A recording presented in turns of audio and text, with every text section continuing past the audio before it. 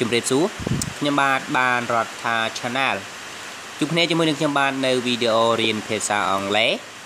ជាមួយនឹងវីដេអូរៀនរាប់លេខបាទអញ្ចឹងយើងរាប់លេខបន្តទៀតពី1801ដល់1900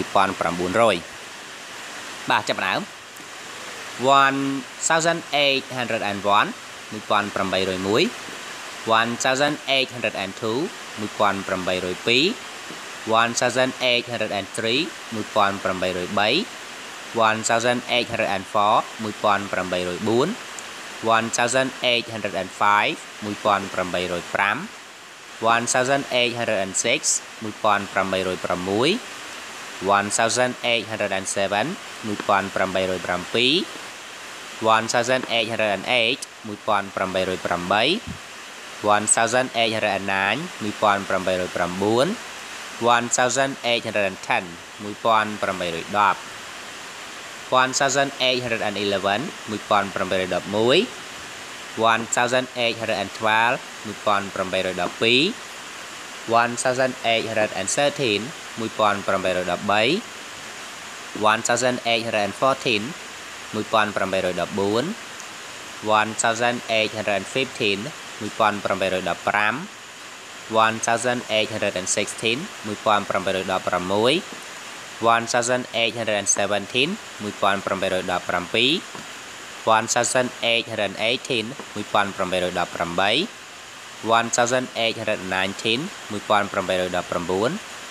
1820 1821 1821 1822 1822 1823 1823 1824 1824 1825 1825 1826 1826 1827 1827 1828 1828 1829 1829 1830 1830 1831 1831 1832 1832 1833 1833 1834 1834 1835 1835 1836 1836 1837 1837 1838 1838 1839 1839 1840 1840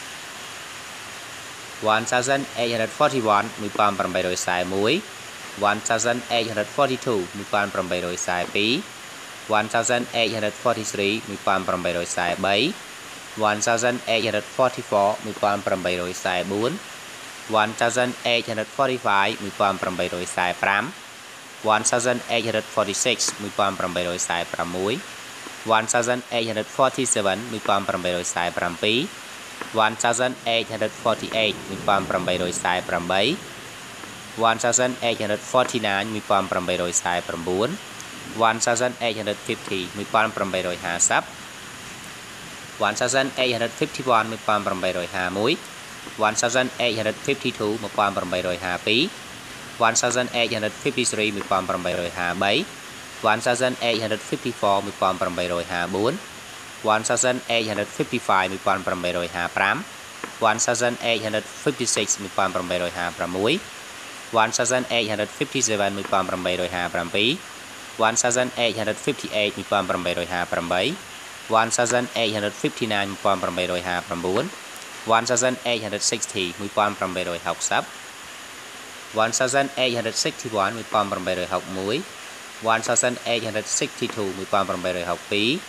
1863 1863 1864 1864 1865 1865 1866 1866 1867 1867 1868 1868 1869 1869 1870 1870 1871 1871 1872 1872 1873 1873 1874 1874 1875 1875 1876 1876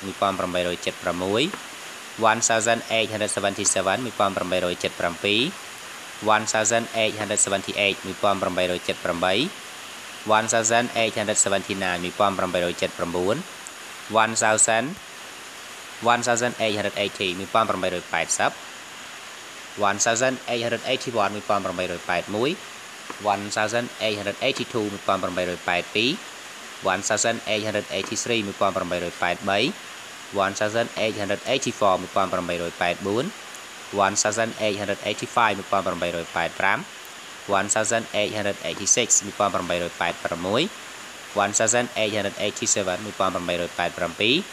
1888 1889 1889 1890 1890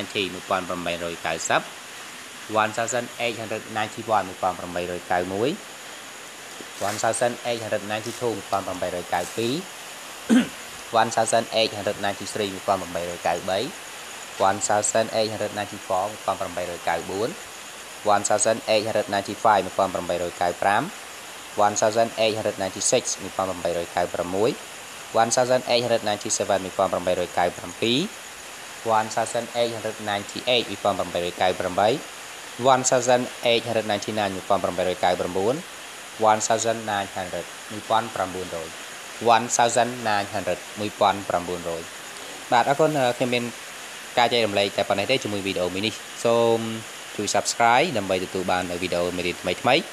ជួយគេចុច like ចុច share បាទចុច share ដើម្បីចែករំលែកនៅចំណេះដឹងបាទមិនបាន like ក៏ហីចុះសំខាន់ឲ្យបាន share ចែករំលែកចំណេះដឹងរបស់បងប្អូនដែលគាត់អត់ចេះឬក៏ដែលគាត់ចង់ចេះសូមជោគជ័យជាមួយការសិក្សាអរគុណ